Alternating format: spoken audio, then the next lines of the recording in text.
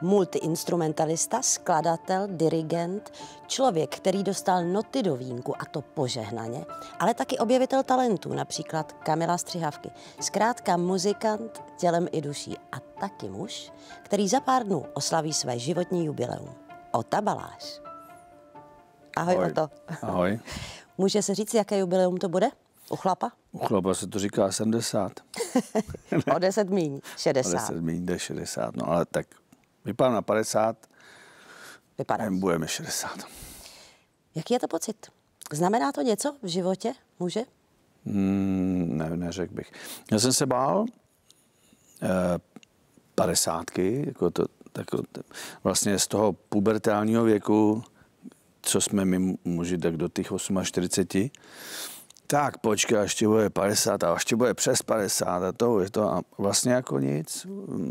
Jsou takové ty věci, že ráno se stává díl, než to člověk rozhejbe a než to prokřupe a tak. A je tam ještě prostor pro to si ten život něčím jako zpestřit? Protože ty jsi si rád užíval všech radostí života. Co ti chceš říct? Jestli ještě jako Co? můžu? Ale můžu, jako cokoliv. Máš nějaké nutkání bilancovat? Teď už? A nebo ne, ne, ne. je to nesmysl? Já hrozně rád jim a od 30, teď do 60 jsem přibral 30 kg. Já jsem měl 72, pak jsem měl 80, 82, pak jsem měl 90 a teď v lednu, nebo ještě v květnu jsem měl 106. A to už vypadalo hrozně. Jako já jsem ještě natočil vlastně v covidové době, jsme natočili online koncert, který je na YouTube. Je tam asi já nevím, 20 písní, byl tam Barta Burešová jako hosti, zpívala Tereza Kopáčková v, tý, v, tým, v tom mým balagebendu a já. A teď ty lidi všichni vypadají krásně. Barta je hubený, Burešová je hubená, Kopáčková je hubená, kapela je hubená a já tam mám 106 kg. A normálně tak tam jsem si říkal, že fakt už vypadám divně. Naštval jsem se a zhubnul jsem 14 kg za tři měsíce normálně. Takže to je jediný takový to, že vlastně člověk jako vypadá mezi těma mladými lidma, že je jejich táta, nebo že jako je jejich mentor, nebo učitel, nebo já nevím, nebo já, jak jsem pedagog, tak to taky jako i tak vnímám. Ale e, životním stylem normálně mluvím úplně stejně a chovám se úplně stejně jako oni. No. No vlastně takovým mentorem dneska už asi můžeš být, protože to, co máš za sebou, tak to má málo kdo. Ty jsi s muzikou začínal velmi časně, Vymli to správně, tak někdy v šesti letech už No tak si... normálně klasicky eh, jdeš do základní umělecké školy v té druhé třídě. Jo. A tam jsem začal na to piano. Ale teď vlastně, jak eh, budu mít ty narozeniny, tak jsem si eh, musel vzpomínat, s kým vším jsem hrál, protože dělám koncert kvůli tomu. A na tom koncertě vlastně začínám s člověkem, s kterým jsem, nebo hraju s člověkem, s kterým jsem začínal. To je Jirka Křivka. A my jsme měli skupinu Zikurat, Vilemčok, já a Jirka Křivka. A to Těžký jsem... Těžký punk. Prosím? Těžký punk. Těžký punk v té době. A to jsem začal hrát v šestý třídě. Takže v šestý třídě jsem měl první kapelu. Normálně, s tím Jirkou Křivkou. A hráli jsme doma, v bytě, otevřený okno, v Malešicích, nás všichni tam pod, pod oknama normálně nás poslouchali. A hráli jsme jako opravdu takový i punk, ale já si pamatuju, že jsem zpíval třeba i Nazarety a, a nevím, takové věci. Hmm. Ty jsi dostal do vínku jedno ohromný věno od táty. Jo? Říkáš jo. to vždycky, že jo. tu muziku v genech máš. Kým byl táta? Ty o něm za děda, mluvíš? Praděda, děda a táta byli hudebníci. A já e, vlastně jsem se narodil, máma nebyla hudebník, ale táta, e, co jsem se narodil a co jsem ho jakoby znal, tak vlastně byl půl roku doma a půl roku byl na cestách po světě. No. Byl to táta taky, kdo tě vedl tím směrem, aby si studoval muziku. Musel jsem, no. A Já jsem ty máš takovou fajn historku, že jsi se nedostal na státní konzervatoř, že jsi to podcenil, ty přijímačky, a pak si musel na vojenskou školu. To mi teda vysvětli. Tím, že jsem hrál na piano tak nějak normálně, jako, uh, tak jsem v osmý třídě nemohl udělat zkoušky na státní konzervatoř, protože pianisti při, jako který byli vzatý do prvního ročníku konzervatoře, to byli prostě pianisti, kteří vyhrávali nějaký soutěže už, jako, že jo, a tak. No a tak, tak co s tím, že jo, tak mě nevemou, tak co budu dělat, no tak, tak jsem se v osmé třídě začal učit na klarinet u Burdy, který hrál, který hrál se Slováčkem, si pamatuju teda, a s Gotem, tak eh, ten mě naučil na klarinet. No a asi za půl roku jsem udělal zkoušky na vojenskou konzervatoř, protože na té vojenské konzervatoře e, se učili hlavně dechový nástroje. Že? No a když člověk uměl na ten klarinet, tak oni mě pak za ty čtyři roky na tu, do té maturitě dotáhli, že tam už jsem opravdu cvičil nějaký tři, čtyři hodiny denně na, to, na ten klavír i na, to, na, na, to, na, to, na, ten, eh, na ten klarinet, takže tam už jsem se fakt stal studijním typem. Jako. Takže to byla trošku účelovka, ten klarinet. A ta vojenská škola, tušil si, do čeho vlastně jdeš? Že se jen tak o tamtuť nebudeš moct vymanit? No jo, to jsem se, eh, to byla první věc, že vlastně, když já jsem nastupoval na vojenskou konzervatoř, tak eh, ne, že bych nevěřil, že bych se tam něco naučil, ale tam byl takový nějaký jako eh, zvyk, Eh, že když člověk podepisuje maturitu, že bude i hrát v posádkové hudbě potom a že dostane osmiletý závazek v posádkové hudbě. Jakýkoliv posádkové hudbě po celé republice, tehdy po celém Československu, takže jsem mohl také jet do Košic, jako dělat, pracovat. No a já jsem tátovi říkal, tak jo, tak já půjdu na tu vojenskou konzervatoř, ale, ale já nebudu jako voják z povolání, to neexistuje, jako to je bláze. Neboj se, neboj se, oni to mají tak, že e, uděláš maturitu a vyplatíme tě, to se teda ještě šlo, že tě vyplatíme a ty nemusíš do té posádky. Tak jo, tak, jo, tak jsem na čtyři roky dělal. A když jsem byl ve čtvrtáku, tak to změnili. Honza Neskář ještě, e, ještě vlastně jako by byl propuštěný, že zaplatil 20 tisíc tehdy za ty čtyři roky, e, protože my jsme byli jako internát a měli jsme všechno zadarmo, takže to zaplatil no a pustili ho. A mě už nechtěli. Mezi tím ale už si měl Tango. Tango, kapelu. Tango. Ano. A ty se spotřeboval o tamtuť dostat a hrát s tangem a nechal si se zase účelově zavřít do vazby. A, tak? tak ty, ty jedeš tyhle věci, no tak jo. E, mi někdo poradil, že prostě nějaký paragraf, čtyř, nevím, 415, vymýšlím si, už je to dlouho, a že to je takový to, že porušil jsem něco, a že když budu porušil jsem něco, takže mě vyhodí z armády, což OK, tak jo.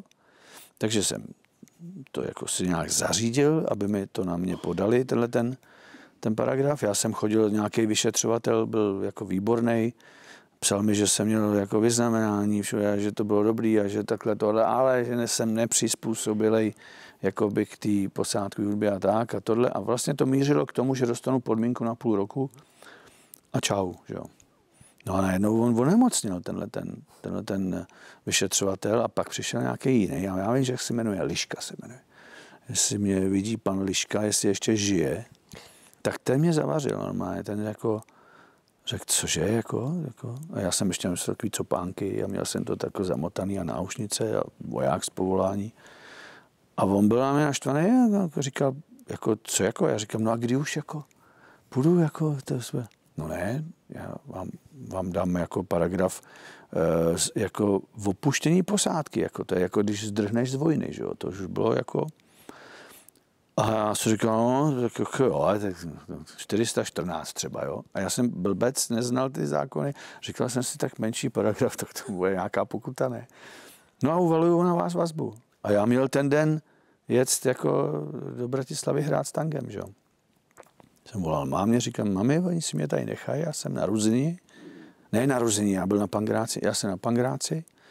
A prostě tady zůstávám, tak hele, já mám plný auto nástrojů a stojím tady, vemte si to auto a myslel jsem si, že tam budu tak dva dny a že se to vyřeší, že si řeknou, no, my jsme ho pohrozili, no byl jsem tam tři měsíce a vůbec jsem nevěděl nic. Byl jsem normálně, jsem seděl, psal jsem dopisy, jak je to strašný, co si to jako dovolují bolševici a tak dále. No a to nepřišlo vůbec nikomu, to, ne, to neodeslali, že jo, to. ale ty bachaři byli hodní. No já už jsem pak dělal něco s prádlem, tak jsem chodil mezi ty normální mukly a ty mi říkali, tak budeš v knihovně. A říkám, co jako? No my už jsme seděli, zařídili, budeš knihovně. Teď jsme koukali, zrovna tady byly klipy, videoklipy, jedou s tebou v televizi a tango, super, co s tím sklem, elektrický bál, výborný to je, hele. Ale jako budeš v knihovně, budeš, no tady budeš jak v peřince, to bude super, my tě tady budeme mít rádi. A říkám, já sem nejdu, jako, já nebudu zavřený, jako, neblásněte, já jsem ve vazbě, mě pustí na podmínku. Mm-mm když jsi jako ve vazbě už nepouštěj na podmínku, to půjdeš jako na tvrdo. Tak jsem se začal bát, jako opravdu. Najednou přišel, uh, asi fakt po třech měsících přišel advo, jako můj, můj, můj obhájce, to mi zařídil táta od Karla Gota, nějaký Gebauer to byl. No, ten mi říká, hele, jestli chceš ven, tak budeš ve vojenský, jako budeš jako v posádku, bude miluješ armádu, se sovětským svazem na věční časy, všechny tyhle ty blbosti musíš říct. Jsem to řekl. Pustili mě, dostal jsem dva roky podmínku na půl roku, takže kdybych dva roky něco provedl, že půl, si půl roku sednout. No a jednou jsem přišel jako do té práce, nějak jako, že tam si něco vemu a tohle, a on tam byl ten generál, koukal na mě a říkal, tak vy jste e, neposlech a vy furt jako děláte tyhle věci, takže zavolejte prokurátora a, a ať jde okamžitě si sednout. Já jsem, nevím, jak je to možný, ale já normálně nemám ani hysteráky, ani deprese nebo něco. A já jsem se sebou švihnul na zem normálně, jako z toho, jako z toho celého. A on, okamžitě ho propuste z armády. A utek. No tak, tak takováhle blbost mě jako zachránila, že mě ten den tak jsme propustili z armády za nepřizpůsobilost, bylost, kterou jsem vlastně chtěl. No a byl jsem tam, já nevím, jsem tam byl tři roky v té v v posádku, tak po třech letech se stalo tohle. A já šel na volnou. Vysvobodil ses a od té doby vlastně ta tvoje kariéra hudební šla strmě nahoru a tango pak byla Nová růže a BSP. A to je možná ta zásadní kapela, nebo to, to setkání se se stříhavkou, vnímáš to tak? Uh, já, já beru zásadní i tu Novou růži. Vlastně já, jak jsem, jak jsem vlastně měl ten, ten styl i, v tý, na, i na té konzervatoři, i, v, i v tom potom vlastně, toho drillu a té pracovitosti, já jsem si na to tak zvyk, že jsem fakt jako byl hrozně pracovitý. Takže já jsem dělal hudebního režiséra v suprafonu, ve studiu, dělal jsem prostě strašně moc věcí a aranžoval jsem, produkoval jsem desky. Hrozně jsem jakoby furt pracoval a my jsme hráli 8 let s tím tangem, pak teda skončil tango a já jsem s Vilemem Čokem udělal novou růži, protože on skončil s pražským výběrem takto a to bylo taky hodně zásadní. Já jsme udělali dvě desky a do dneška jako vím, že jsme, kdyby jsme bývali nepřestali, že bychom to možná natřeli i ty Luci, jo, protože my jsme byli Luci a Nová růže jsme byli na tom úplně stejně, i jako s lidma, i s hitama, asi já nevím, 60 klipů, jako jsme měli jako, jako v tom, v tom v těch hitšarádách, tehda Anděl fantazie, kariéra, nenapravitelný hřích, hrozně moc jakoby věcí. No ale, ale potkal jsem střihavku, je pravda, že jak já jsem zpíval a Vilém jsme zpívali v té Nový růži, tak najednou mi přišlo, že já píšu písni, píseň pro někoho, kdo zpívá nejlíp, jako pro mě v podstatě skoro na světě, protože on má prostě, nebo měl v té době, v těch, těch mu bylo nějakých 30, tak byl, tak měl takový jako obrovský jako uh, charisma v tom hlase a, a, a, a techniku a zpíval, vlastně on je bariton, on mluví takhle a zpíval prostě věci bez fistule, bez, bez hlavového tónu, tak to tam prostě narval, že mě vzdálená, prostě to nikdo nezaspívá, ani ženská, to nemá ten tembr nahoře, prostě to. No tak já jsem pro ně napsal celou tu desku, první a dali jsme ji do angličtiny, oslovil jsem toho Pavlíčka, jestli by nám nenata, nenatočil ty kytary. Pak jsme udělali ještě jednu desku a vznikli jsme jako BSP, jako taková jako občasná jako kapela. No ale hrajeme 35 let, takže fakt, jak to pravda, že to bylo zásadní. A pak byl pro mě zásadní Jesus Christ Superstar, že v 94. A to byla tvoje práce, protože ty si ty muzikanty nebo spíš zpěváky přived na pódium? Muzikanty i zpěváky jsem vlastně celý dal dohromady, nastudoval jsem to a hráli jsme prostě čtyři roky nějakých, já nevím, 800 představení. Každý. Byl to mega úspěch? Vnímáš to tak o to? Byl to největší úspěch v podstatě, co jsem kdy zažil, protože hrát od pondělí do neděle každý den. Každý den mi vyprodáno čtyři roky v kuse. E, to se prostě nepovedlo nikomu nikdy tady. Udělalo to něco s tebou?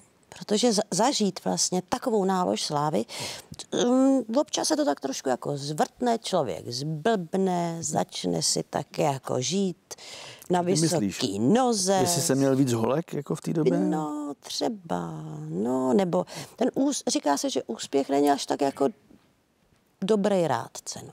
Tak jak ne, to ty zvládl? Podleh jsem ani drogám, hmm. ani alkoholu. Na to se ptám.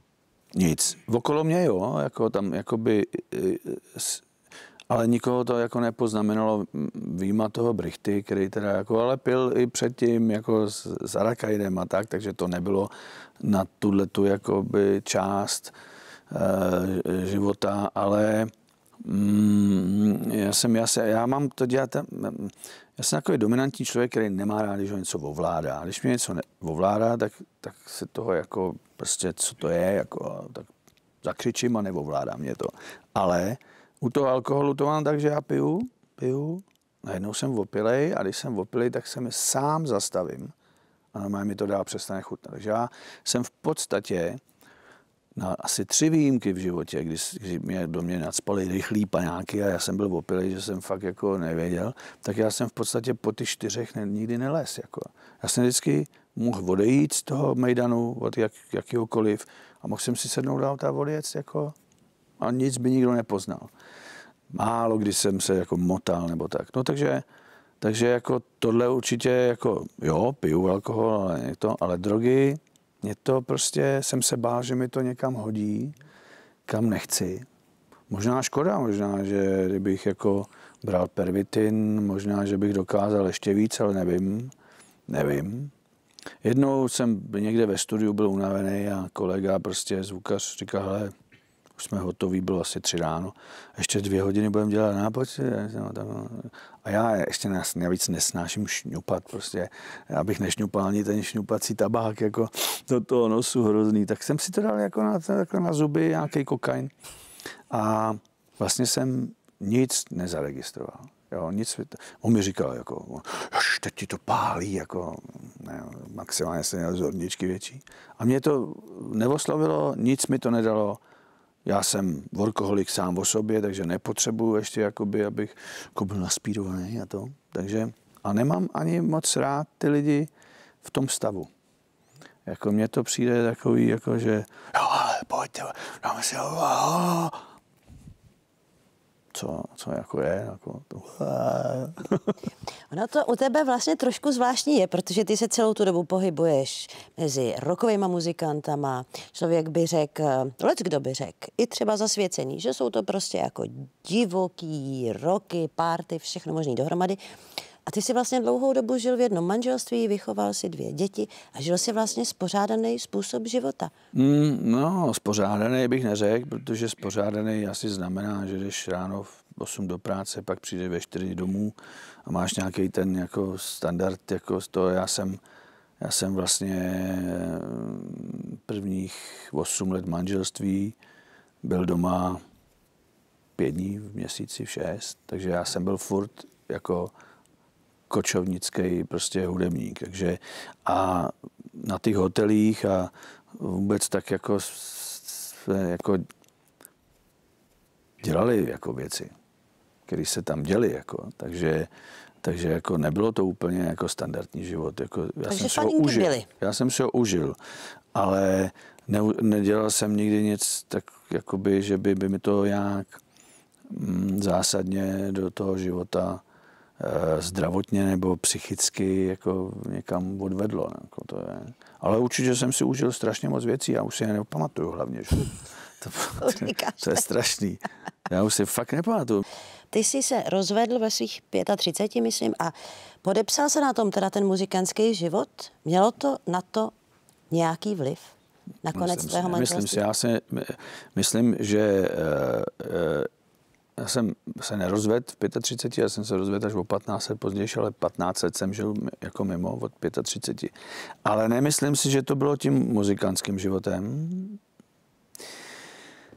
Bylo to prostě, protože jsme se seznámili s manželkou v 16 a do 35 jsme spolu byli a máme tři děti a je to jako furt se máme rádi a jsme furt jako by spolu eh, v kontaktu a tak.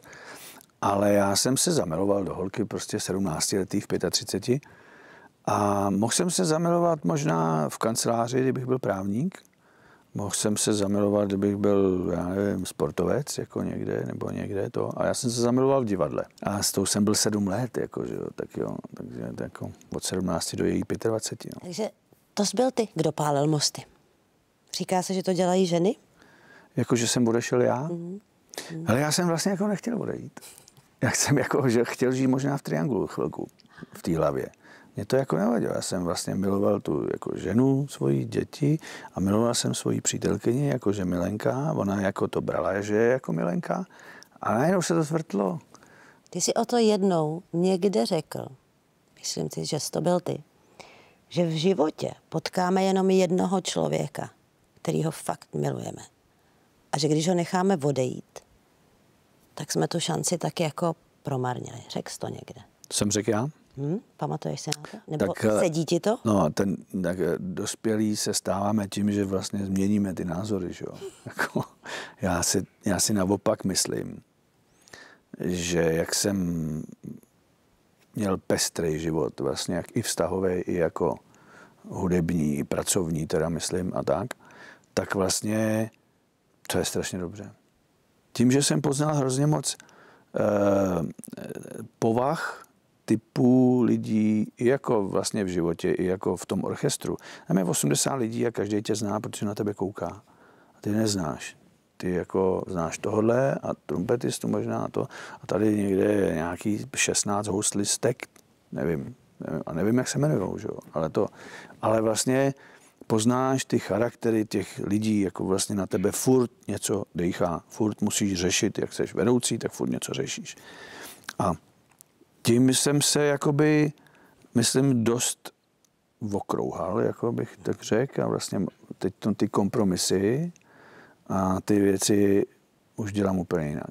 A díky tomu, že jsem zažil hrozně moc těch věcí. Takže já už, já už si myslím, že vím, že tenhle ten člověk se může zachovat tak a dobře, už to znám a ono to pak bude tak. A, takže jsi se vlastně jako sklidnil. Hodně, hodně, to se každý sklidní. Ve 20 víš úplně všechno, že jo? Ve 30 začneš váhat, jestli to tak je. Ve 40 víš, že to tak není. A v 50 je ti to uprdele. A to je něco, co ještě chceš? Minimálně třeba, jestli něco ještě chceš, něco si přeješ? V životě? to toužíš? Mhm. Hele, no určitě chci v tomhle stavu, jakým jsem, tak se trvat co nejdíl. Jako nechci stárnout, nechci, aby mě bolely věci, nechci opustit tu branži, eh, co v nějaké době naštěstí jako dirigu, takže to se dá dlouho hrát. Koukám na, na lidi, kteří hrajou v 80 Big Beat, protože prostě v 60. letech to založili, v 70. a do dneška na ně chodí lidi, takže taky jako eh, ta naděje tam je, takže já bych co nejvíc jako furt chtěl pracovat. A protože když přestanu, tak budu prostě na zahradě zahradník, což jsem byl teď v covidu. Ale mi to docela, jsem udělal hodně jako kytek zahradu, jsem to tam celý převrtal. Takže to, ale e, nevím, možná, že bych chtěl nějak ještě, e, abych prostě nemusel být starý, no. abych nemusel řešit starobu. To bych jako chtěl. Já ti přeju, ať to vyjde, ať ji neřešíš. Přeju ti, ať vyjde koncert, který je 9. listopadu na tvý narozeniny. To jsem, Můžeš. Chtěl říct, to jsem chtěl říct, že 9.